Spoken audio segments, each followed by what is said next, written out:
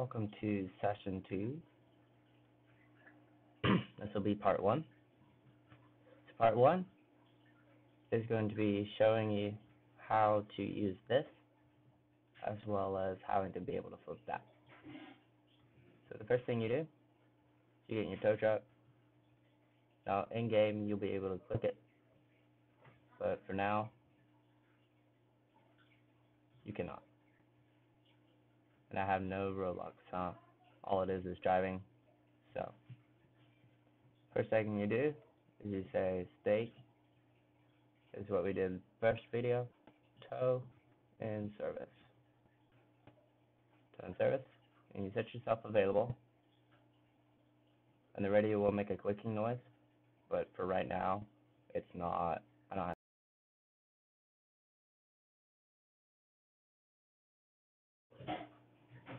So the game is pretty much you wait for a call to come up in here or down here.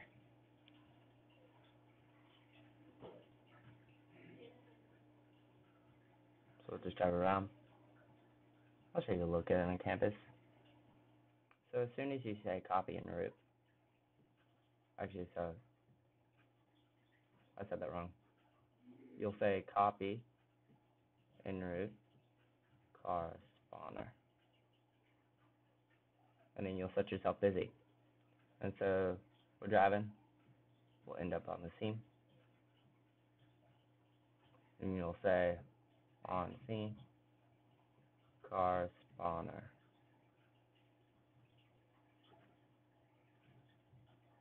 And then at this point, you will set your setup. And the tow trucks are a little different in this game than an actual Firestone. So you want to flip it if you want to leave some space right here. You want to leave a lot of space because you're going to flip. You want to turn on your hazards and you want to turn on warning lights. You want to make sure your truck's in park. Do that by hitting P, See know it's out. Click it again, it's empty. So then you want to come back here. You want to look right here. This is your control. You want to click it. Let me show you again. click it, and it pulls up this. And you'll say, you can say whatever you put beds down. You can say puts bed down, or or you can say pulls levers down. I say pulls levers down because it makes it more realistic. You pull them down, and then after you do that, you want to grab cones, and these are your cones. There it is. You go and grab your cones, and you want to go ahead and put one here and one here, and then you want to go up to the car. You want to put one at the front tire. You want to put one at the back tire. And then this is the tricky part. You want to free spool the winch.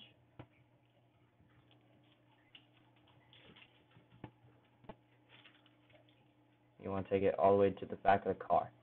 The reason we take it to the back of the car is so that when you pull it, it'll flip over the cone.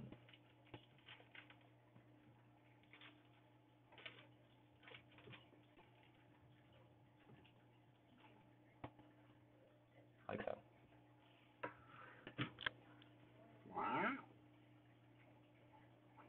And from here, you want to detach the winch.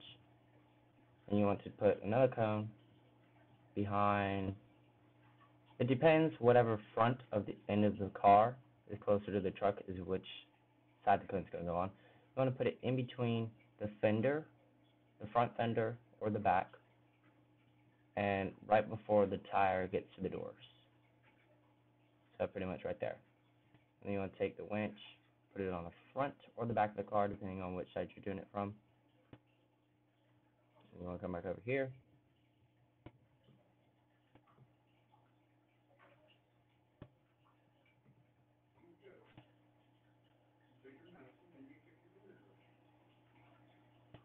And then sometimes it'll do this little number. That's why we put the cones on the outside, because it'll bump it in, and your car will be nice and straight. Now, stopping it, you want to stop it as soon as the back bumper over this little dip. So you want to stop it about there, but you want to make sure you have enough winch. And then you weld the car. Make sure you hit the weld button. If you don't, the car's going to glitch out. You'll say pulls levers up, and then it will pull the car up on the bed. You exit, cleans up comes. I mean, A minus. And then you want to jump in the truck, and this is the part where it gets tricky. You're going to say transporting X1 pink Crown Vic duty and pound. And so oh, that shouldn't be tagged. If it is, just don't worry about it. And take those off, take that off, and this car will move slow. This truck will move slower,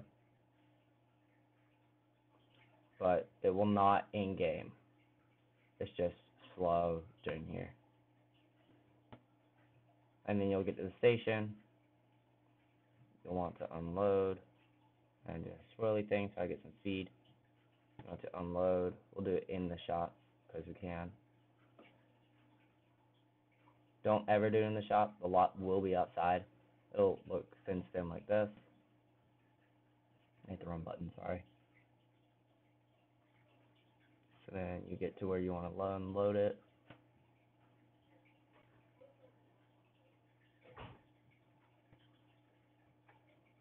And you'll do basically everything in reverse. The levers down. And then you'll jump up here, take all,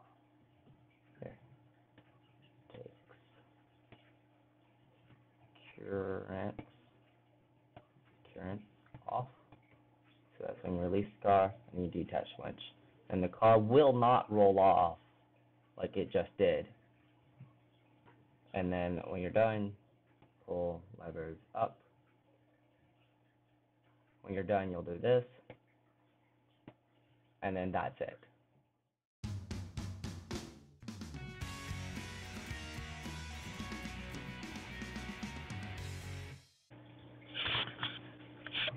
Alright guys, so I have moved the car.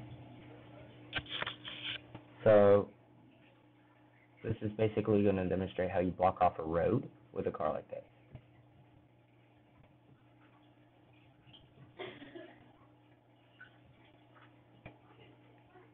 So we're going to turn our warning lights on.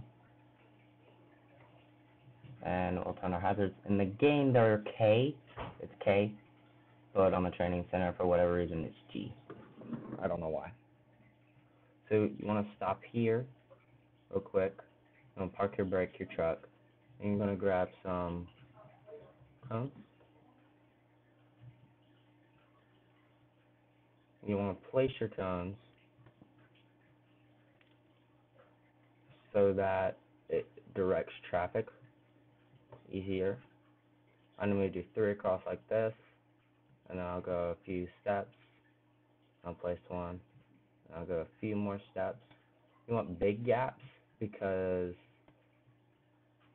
then you have more cones for able to flipping the car. And then that's that. And I don't know why I pulled out the tire pump. Anyway now that you've got the scene set up, which what you want to do is if it's not, you'll use flares. Um, but it's not. So what you want to do is you want to get back in your truck. You want to unpark it. You want to aim the truck as close as you possibly can without exiting the gun. Like that's okay.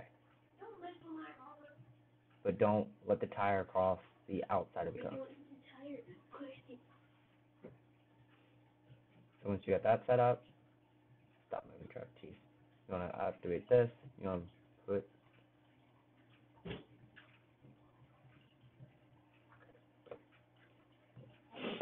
put your bed down. and then you want to make sure you have enough cones because the remove button works on the training center, but it doesn't work in game. So you want to pull winch. So you want to go ahead and grab that winch and then put it on the side. And then you want to put your cones. You have to make sure they're on the ground. If they're not, then it won't work. and then you want to hold button. And you want to hold the button. And hopefully this works. There it goes. It will work at an angle. It just is very picky at times. So I have two options here. I can pull this back in or I can reposition the truck. I like to go with repositioning the truck so that I can remove it and reposition so that I can get some better rate.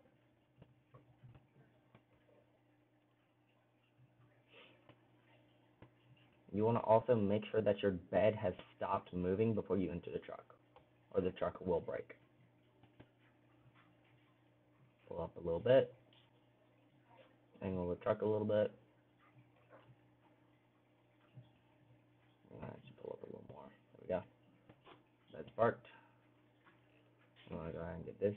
Pull levers down. And Retro is also watching me because he's being Retro.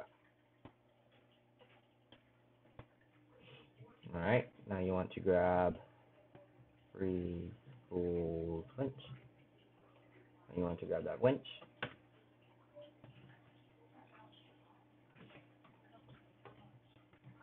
And then you want to go ahead and hook it to the front. And you want to grab your cones, put one on the back tire, put one on the front, and put one on the side. And then you want to go ahead, make sure it's clear.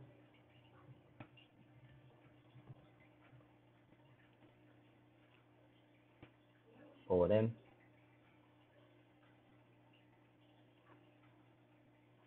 And you might have to stop and you might have to remove the cone and put an extra second one here because you can see that this is going to hit it and it's going to turn to the left, I mean to the right car's going to turn the right. And so you putting that extra cone there will help it, and it'll push it over and onto, straight onto the bed. You want to stop it, you want to weld it,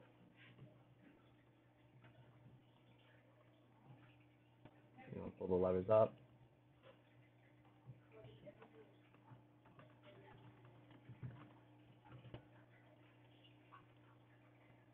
and then you want to clean up cones. And I wish the remove thing would work because you can go by each cone and clean them, literally clean them up, except every once in a while. Alright guys, that's going to be the end of the video today. I hope that session one and parts helped you guys a lot, and I hope that the training did help you as well. Retro has to go. I'm going to give him a big thank you for doing this. Thanks. And I want you guys, if you see Retro, tell him thanks for helping me out. He will be gladly appreciated about it. Other than that, I hope you guys have a great day. The comment section is open. If you have any questions, let me know. You also have my Discord. I will put the Discord on the end of the screen. Other than that, stay toe. Off duty. I got, I got, I got, I got loyalty, got royalty inside my DNA. Quarter piece, got war and peace inside my DNA.